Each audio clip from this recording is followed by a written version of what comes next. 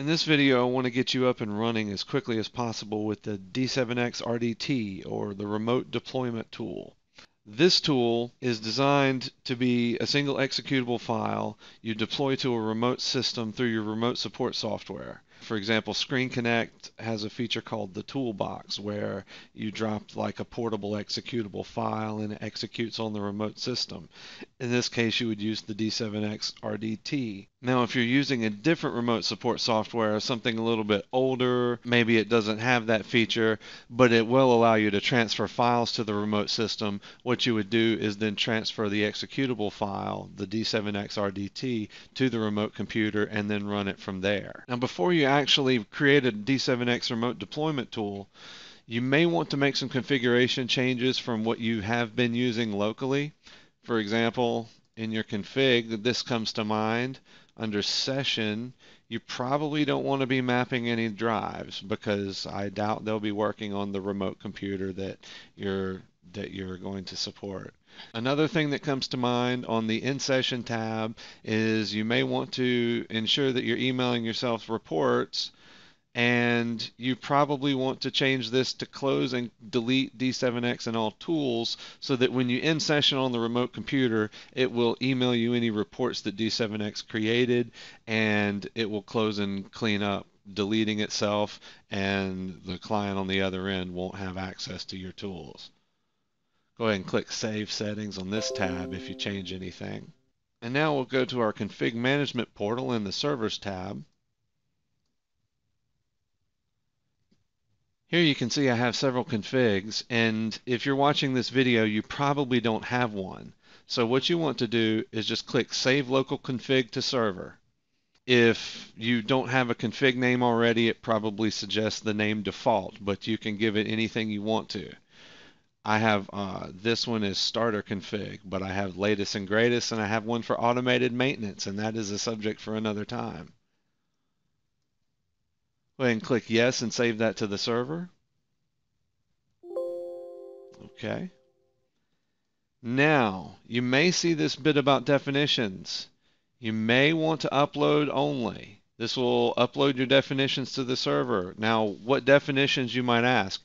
This has nothing to do with any third-party applications that you may be using with D7.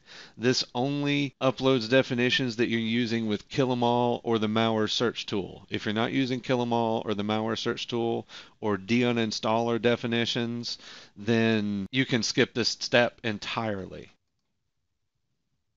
The next thing you want to do is create new D7X RDT the first thing it'll ask you is do you want to be prompted for a technician password when you run this tool. Unless you're going to be leaving it in the presence of other people, I don't see any need for this. If you're just running it from your Screen Connect toolbox, you, you probably don't want to put a password on it.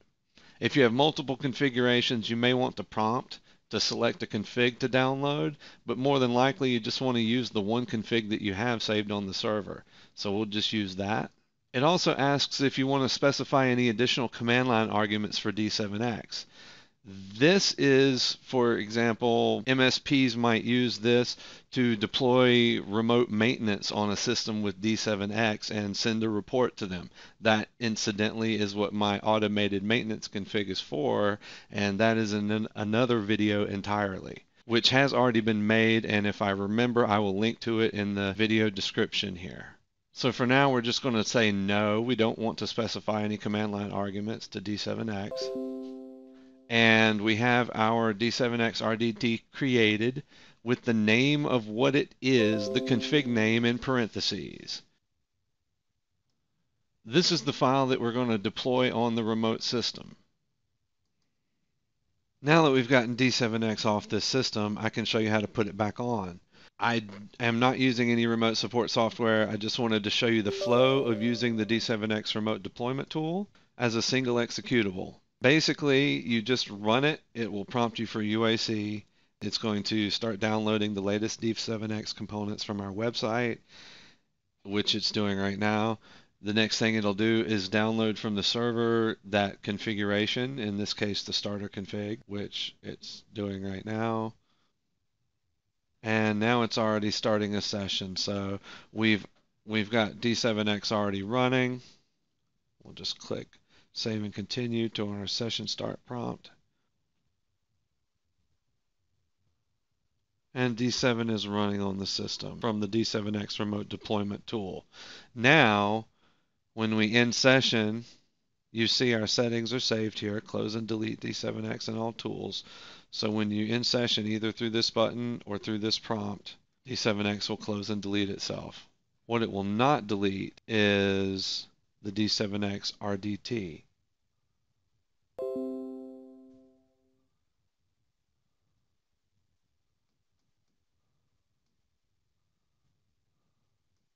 This is why you don't want to just transfer the file to the remote system if you have the option of using something like the Screen Connect toolbox.